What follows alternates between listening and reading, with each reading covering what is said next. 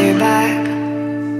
Are you gonna tell me where you went? All the messages I sent with no reply. Ya la tenemos sentada acá en nuestro living. Ella es Rafaela Bueno, eh, que a ver, nos va a hablar sobre esto de Bruja 50, Escuela de Artes Escénicas, donde presenta justamente eh, esta, esta hermosa obra que vamos a estar compartiendo dentro de unos días. Ella es directora y dramaturgia. Así estoy bien. ¿Cómo estás? ¿Qué tal? ¿Cómo estás? Bienvenida, Rafa. En esta, en esta oportunidad me estoy a cargo también de la dramaturgia de la obra. Qué lindo. eh, además de la dirección. Bien, y actriz también. Sí, actriz también. Actriz también. Formada en eso también. Bueno, contame, porque uno cuando dice brujas lo asocia, o cuando dice un cuento, asocia la bruja al cuento. Pero acá estamos hablando brujas sin cuento. Sí, estas brujas no tienen cuento. Sí, son, es, bueno, es una obra orientada al público infantil, pero puede ser para todo público. Eh, así que es una obra que está trabajada desde un principio con un taller, desde el taller de producción teatral y puesta en escena del programa Ser Arte y Parte. Eh, ¿Qué más te puedo contar? Bueno, es una obra que son cinco actrices en escena que tienen la particularidad de mm, no pertenecer a ningún cuento clásico y están siempre en la búsqueda de ese trabajo, ¿no? de un trabajo, de pertenecer a algún lugar, de ser como. Y, y son hermanas, viven todas en una misma casa. eh, también tienen nombres particulares. Se llaman sí. Paca, Peca, Pica, Poca y Puca. Ah, bien, bien, nombres sumamente Sí. particulares. Sumamente particulares y bueno, eh, son hermanas y se van generando en esta búsqueda, se van generando pequeños microconflictos entre ellas, en donde hay música, coreografías, historias Qué que se van desarrollando a lo largo de la obra, dejando un lindo mensaje al final, que no lo vamos a contar así, Bien. la gente se acerca, lo ve y lo disfruta. Por supuesto. ¿Cómo nace este Bruja sin cuento? Bueno, Bruja 50 es una idea, una idea así que venía a la cabeza mía hace tiempo y mm, me encuentro con la posibilidad de, de dirigir este taller, de coordinar este taller de producción teatral en el programa Ser Arte y Parte y conociendo en un principio de año a mis alumnos que, mm, que se acercaron a tomar clases en el taller. Eh, los estuvimos experimentando durante un mes y medio, dos meses, eh, juegos, trabajos teatrales, eh, donde yo los pude conocer, donde pude acercarme un poco a cuáles eran sus habilidades, sus talentos. Y un día me senté y escribí la obra. y escribí la obra que estaba ahí como la idea, la idea como global. Me senté y la escribí teniendo en cuenta que tenía muchos alumnos. La obra tiene cinco personajes nada más. Entonces armamos un elenco rotativo en donde las actrices que tengo en, en el grupo van a tener la posibilidad de, de- de- de formar parte del elenco eh, dependiendo de las funciones que tengamos y rotativo, digamos. Un, un elenco en una función, otro elenco en otra y, a- y otra así. Porque la idea es eh, mostrar el trabajo a la comunidad. Y eh, que todas todas las veces- participen. y que todas participen y mostrarla todas las veces que sea, que sea posible.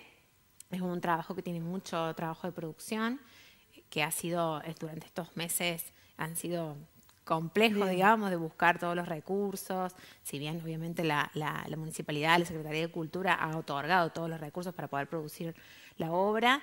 em, hay cosas que son que van surgiendo que necesitas que, que- y- van surgiendo así de la mano de, de todo un poco de y bueno y hacer la gestión por supuesto Ahora, Rafaela, contame un poco esto del tema de las brujas. A ver, ¿cuál es el vestuario que se te ocurrió para decir, a ver, ¿qué le vamos a poner? Porque estamos hablando de las brujas actuales, Sí. no de los cuentos de antes. No, no estamos hablando de las, de las brujas convencionales.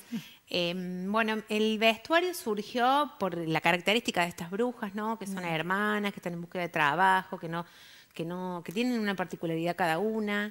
Eh, hay una mayor, que eh, hay otra que es muy activa. Entonces, sacamos un poco, si bien en la gráfica tenemos vestuarios negros, porque no habíamos llegado todavía a producir el vestuario, tenemos la suerte que tenemos a Nadia Mabres en el elenco, que es vestuarista y diseñadora de vestuario. Ella se encargó un poco conmigo de armar los diseños, de seleccionar las telas, pensar en unas en unos géneros que no sean tan comunes, metimos el engomado ahí en la tela, Ah, en los vestuarios. Sí, y bueno, y bueno, y fuimos así como armando, colorido, nos gustaba la idea del, vamos a utilizar el, el teatro del Centro Cultural Leonardo Fabio, que tiene tuvo una cámara negra. Pensábamos, bueno, esa cámara negra, ¿cómo podemos romper con eso? Entonces le metimos color al vestuario y algunos elementos escenográficos también. Bien. Así que simple, la apuesta es una apuesta simple porque está pensada para trasladar si hace falta una plaza, si hace falta un barrio, si hace falta un colegio. A donde sea. A donde sea, así que... Qué Y bueno, lindo. tenemos, ve- tenemos ya está lista la obra. Ya está lista. Por suerte, bueno, al ser un taller de producción teatral, los mismos alumnos han todos colaborado y con su, con su digamos, mano de obra. Hay quien cosió los, los, los vestidos y hay quien cosió los sombreros y hay quien pintó escaleras y armó ventanas. Así que hemos tenido un trabajo de producción muy grande, pero muy solidario, digamos, Bien. y colaborativo. Bien, bueno, eh, yo digo, eh, qué increíble, ¿no? Porque cada una de las cosas que me vas contando eh, son todas totalmente diferentes. Me estás hablando de una producción o de un armado de una escenografía donde está eh, realizado por sus propios alumnos, donde los alumnos están en este siglo, o sea, los- las brujas son de este siglo, Sí. donde el engomado junto con los colores van a, van a salpicar ese hermoso escenario que tiene este Centro Cultural Leonardo Fabio acá en la ciudad de Villa María. Pero también eh, vidas actuales, ¿no? Este, este, la convivencia que tenemos con los hermanos, y más cuando son muchos hermanos, digo que cada uno tiene su personalidad totalmente diferente, donde o chocas o tenés mayor piel con un hermano, que eso nos ocurre en la vida real todo el tiempo. Sí, sí, tal cual, es así. Así pasa también en la obra, que hay pequeñas diferencias entre los personajes y después se resuelven con una, una cuestión de Somos hermandad. hermanos. Y, as- y este trabajo ha sido así también. Qué bueno. eh, colaborativo entre todos. Sí. Y, Aparte digamos, como- rotativo. sí, eh, digamos como que nos une un objetivo y una pasión. Qué lindo. Que, que, bueno, que es el teatro, las ganas de hacer. Todos los alumnos que se acercan a, a- por lo menos, bueno, este es el tercer año que yo estoy en el programa, los alumnos que se acercan a la Escuela de Artes Escénicas Mm. eh, tienen una gran necesidad de hacer y unas, unas muchas ganas De de, aprender. de- de aprender Sí, y de sí. hacer y de, de colaborar en lo que se pueda. A veces no, tengo otros alumnos que no, no están en escena, Claro. porque, mm, porque bueno, tenía cinco personajes, Sí. o tengo alumnos varones eh, que van a estar dentro de otro proyecto en un futuro, no muy lejano, pero bueno, la verdad que se ha llevado toda nuestra energía este Bien. proyecto que pretendemos presentar ahora para el mes de la niñez. Eh, vamos a hacer una gran- un gran festejo el sábado en el Centro Cultural con mis otras compañeras de la escuela, las otras profes y profes del, pro- profesoras y profesores de la escuela. Eh, han armado bueno, juegos, actividades eh, recreativas para hacer como una antesala a la Qué obra. lindo, Entonces, qué cuando la lindo. gente se encuentre ahí buscando la entrada, va a tener la oportunidad de, de pasar por estos juegos que han sido creados por ella, también con toda la temática de las brujas. Estamos lejos de unas brujas tenebrosas y unas brujas eh, malas o hechiceras. Claro, no, son no. más bien brujas cola- coloridas y de cuentos que vienen a contarnos su, su historia familiar. Algo diferente.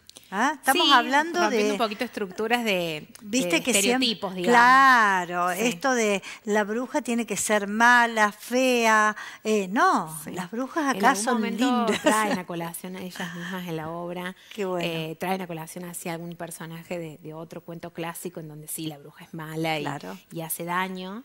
eh, pero ellas no son así. No son. Ellas buscan, su objetivo es otro, su objetivo es Bien. tener su propia historia, su propio cuento. ¿no? Qué lindo, es marcar la propia historia. Claro. Eh, digo, sos, sos parte de este arte y parte que tiene eh, la municipalidad, Sí. este, este taller que se viene trabajando Sí. y que la verdad que es fantástico el, el laburo que vienen, que se viene sí, haciendo. se viene haciendo. El, el programa Ser Arte y Parte, si no, si no recuerdo mal, creo que tiene ocho años de antigüedad. Yo hace tres años que estoy.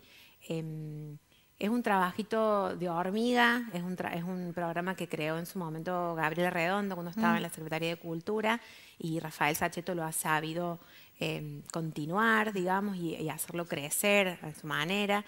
Tenemos mucha gente trabajando en, el equipo del programa Ser Arte y Parte, coordina Virginia Reineri, que es eh, una persona que tiene las cosas muy claras y, nos, y nos sabe llevar a nosotros, porque somos un montón de docentes de la escuela de música, de la escuela de circo, de la escuela de artes escénicas, y nos dan eh, en equipo ¿no? la posibilidad de, hacer estas cosas, de presentar nuestro trabajo, de mostrar a nuestros alumnos lo que han aprendido durante el año. Eh, vamos de a poquito, de a, pasito, digamos, vamos pudiendo eh, conquistar espacios, utilizar espacios públicos que en, gran medida son hermosos. Qué lindo. Eh, tecnoteca, Radio Tecnoteca, la Medioteca, el, bueno, el Centro Cultural que ha sido el espacio en el que yo he trabajado durante este año, que es un grupo humano también el que te recibe hermoso y, te sentís muy a gusto y los alumnos también eligen estar ahí y, trabajar ahí. Y, bueno, es, es, una, es como una gran comunidad, digamos. El programa, la escuela. Todo. Vos sabés que eh, me llamó muchísimo la atención en las vacaciones. Eh, el, el, programa de actividades que venía desarrollando la municipalidad. Y, uno fue, digamos, así parte, no solamente por la, por la publicidad que nosotros eh, siempre le hacemos acá a través del canal, sino también tuve la posibilidad de entrar en esa carpa a donde estaba eh, un actorazo al cual adoro, que es Chumi, eh, dentro de esa carpa haciendo un trabajo fantástico en las vacaciones de invierno ahora. Digo yo, qué increíble lo que tenemos en Villa María. Sí, sí, lo que hay, artistas de gran, de gran talla y en, las escuelas del Ser Arte y Parte, bueno, no sé, por ahí yo lo digo porque estoy muy orgullosa y, me, gusta, totalmente. y me gusta trabajar ahí y, armar equipo con mis mm. compañeros. Para mí son los, los, artistas más talentosos de Villa María, de hecho te cuento que eh, las canciones de la obra son canciones originales, tiene dos canciones originales creadas por un alumno que es Santi Fiori, eh, una de las canciones, que es la, como la, del cierre de la obra, y Fernando Chain, que es un docente de la escuela también de música del Ser Arte y Parte, y está mm, interpretada, las canciones están interpretadas por cinco cantantes eh, del, también que trabajan en la escuela de música, que son, no sé, súper talentosos. Ángela Parodi, eh, Eugenia Lauría, Rocío Heredia, que me, Romy Biotti. Qué lindo. Y me está faltando Leticia Soria, que bueno, además de ser cantante, Leticia es actriz y le he hecho su plus ahí a la canción. Le he hecho todo el plus. Quedó precioso. Ahora, ¿va a estar Santi cantando la canción arriba del no, escenario? No, Santi la compuso. La compuso. Santi compuso la música. Gran cantante. La letra. Sí, gran cantante, gran artista, Santi, una calidad humana eh, tremenda. Eso que ha hecho este trabajo generosamente para nosotros. Y bueno, también está igual de entusiasmado que nosotros por, verlo, por verlo salir a la luz. Sí, sí, no, la verdad que Santi es una persona a la cual queremos mucho acá eh, y hemos visto su crecimiento eh, increíble. Bueno, antes de, presentar eh, acá en el Teatro Verdi su, trabajo, Santi es tuvimos acá. en el 2016. hace, Uy, hace muchísimo. Iba al colegio y, bueno, y como que nos seguimos mutuamente, donde yo voy él va y donde él va yo voy, porque también lo he visto crecer y, me siento como muy orgullosa de ser totalmente. Su, par, Totalmente, sos parte de eso. contame eh, con qué se va a encontrar la gente el día sábado, cuando llegue al Leonardo Fabio. Costo ¿Tiene costo de entrada? Contar un poco. Bueno, la, entrada a la obra es libre y gratuita. Eh, antes de, hay que estar una hora antes para retirar la entrada de cada función. Hay una función a las 15.30 y una función a las 18 horas. Sí. Eh, hay que llegarse una hora antes para conseguir lugar. Ahí está la información. Ahí está. Brujas 50. Bien, el sábado 27 de agosto, dos funciones. Ay, ya arrancan con dos funciones. 15 y 30 y 18, horas. Bien. En, esta hora antes, ahí va, está la música, se escucha. Ahí están los nombres de las brujas. Brujas comunes, brujas 50. Ahí está. Qué linda. quedó muy linda la canción. Qué linda. Y con el nombre, resalta el nombre de, ellas, de las brujas. Divino, me encanta. una hora antes de, cada función están disponibles las entradas para ir a retirarlas. El Centro Cultural tiene 194 butacas. Y, y bueno, la verdad que sí esperamos, eh, vamos a tener los niños de la misma escuela que van a venir de los barrios.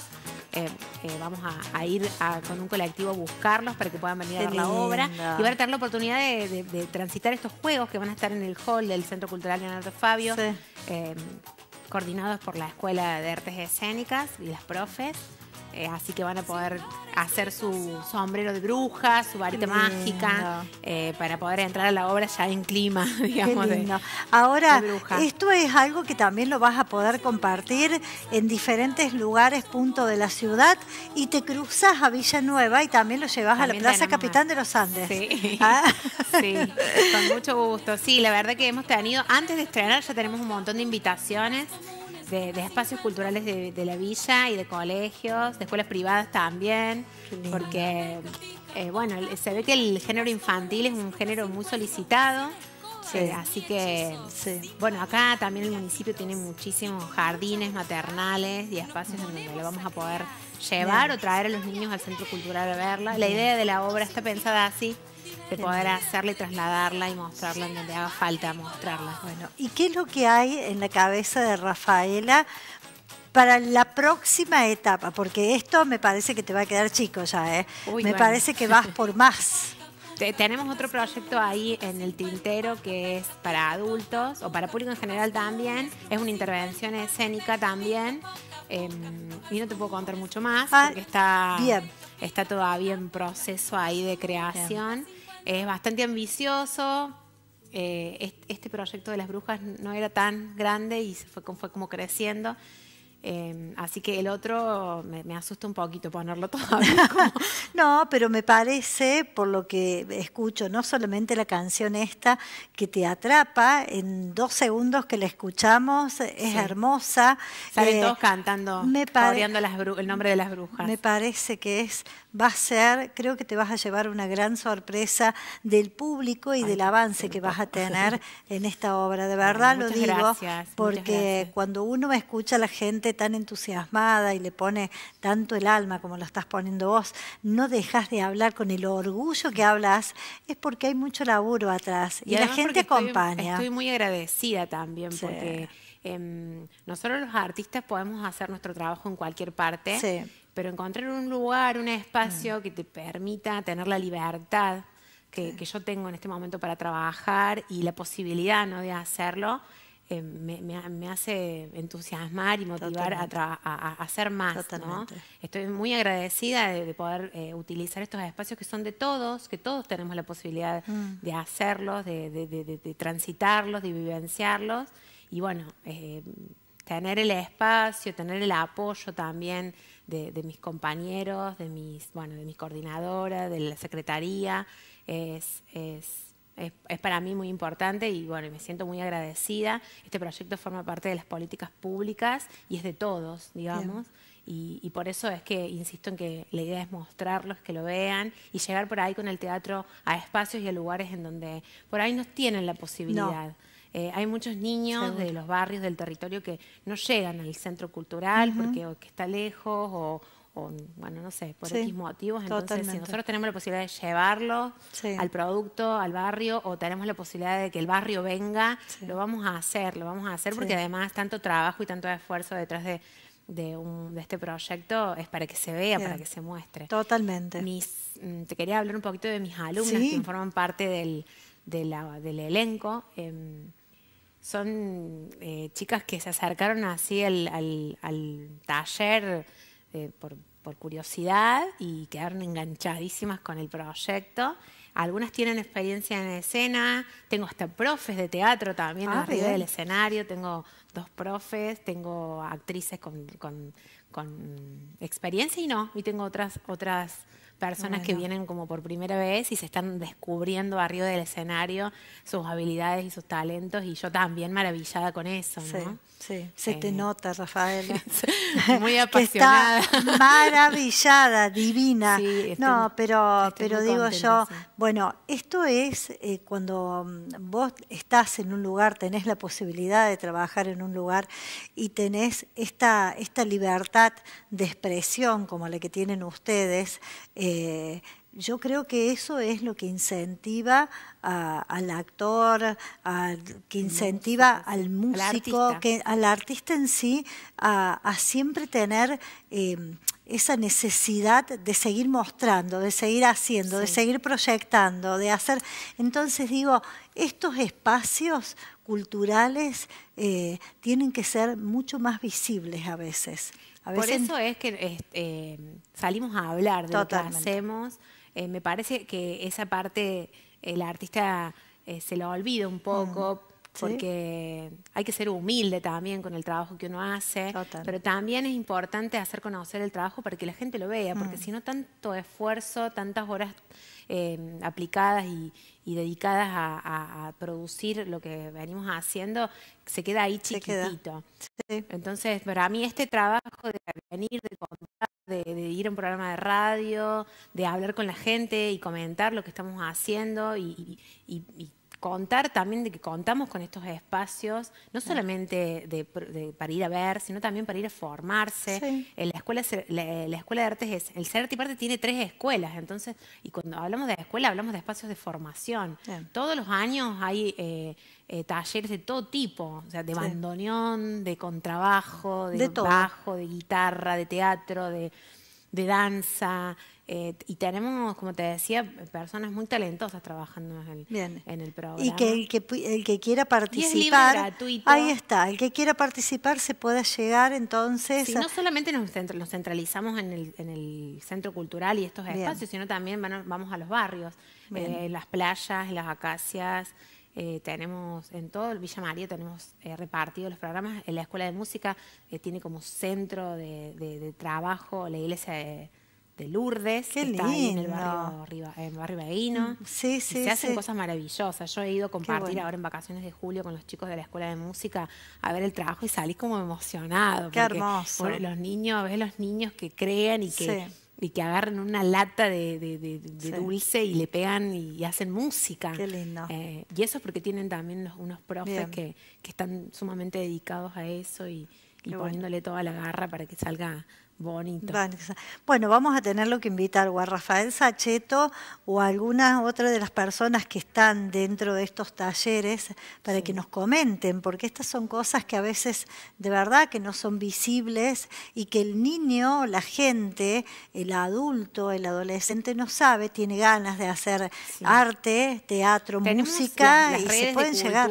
Tenemos las redes de cultura en donde donde se muestra bastante todo el trabajo que se hace, pero la verdad es que el trabajo de cultura de Villa María, que depende de la Secretaría, es, muy, grande. Entonces por ahí la información se pierde un poco. Eh, como que no podemos puntualizar en algo porque es mucho lo que se, lo que se realiza. Entonces por ahí eh, está bueno conversar de algo en particular y darle desarrollo a eso para después seguir eh, en otra cosa. Están las redes, está, bueno, los espacios. Los espacios.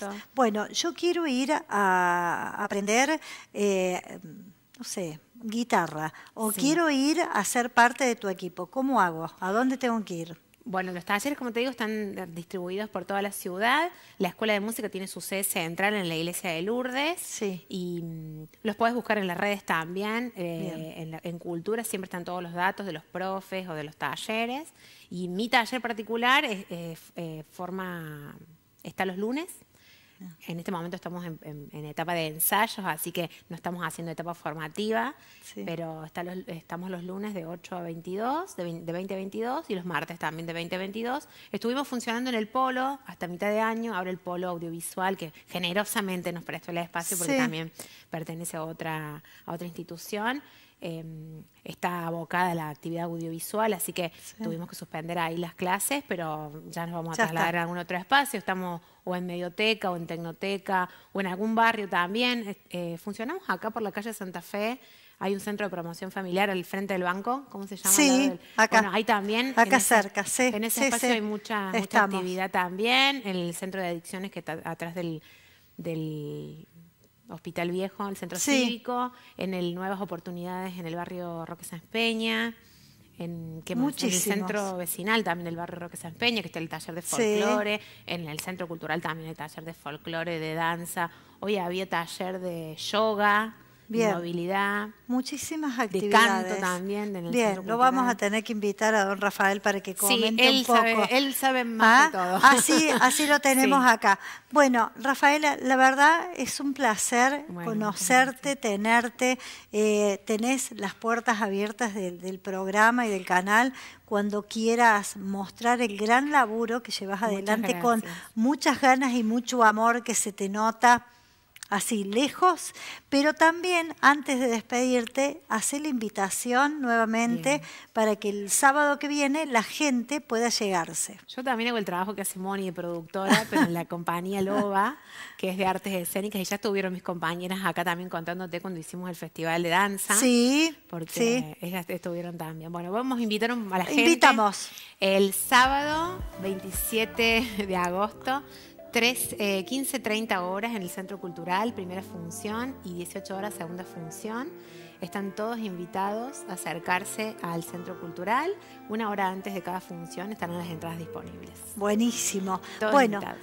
todos invitados. La entrada libre, y Libre y gratuita, gratuita, para sí. que la gente sepa, para que se llegue la gente de la zona, que siempre viene mucha gente de la zona a, a dar una vuelta en Villa María. Tienen para elegir. tiene plan. Tienen para elegir acá, Brujas 50, por supuesto, Centro Cultural Leonardo Fabio, 15 y 30 y 18 horas, las dos funciones que van a tener para ser parte de este gran lanzamiento de acá, de una de las productoras, no solamente, pero la que ideó, la que de todo, Rafaela, bueno, Rafaela querida, muchísimas, Muchísimas gracias. gracias un placer, un placer, ¿sí? Bueno, con Rafaela sentada acá, a ver, ¿cómo harías el corte y el cierre del Ay. programa, Rafael? Vos que sos actriz, a ver, ¿cómo harías el corte El del programa, el cierre de- del programa? Te lo dejo a vos. Bien, hasta mañana. Eh, bueno, nos despedimos hasta mañana con el programa con Claudia acá, Mónica del otro lado. Les agradecemos mucho su atención y sigan, sigan a, la- a las chicas en el programa conectadas. Gracias, No, gracias. Rafa, gracias, un placer tenerte. Nosotros nos despedimos, por supuesto, nos vemos mañana como siempre a esta hora. Te esperamos, somos conectadas, estamos por C20. Chau, chau.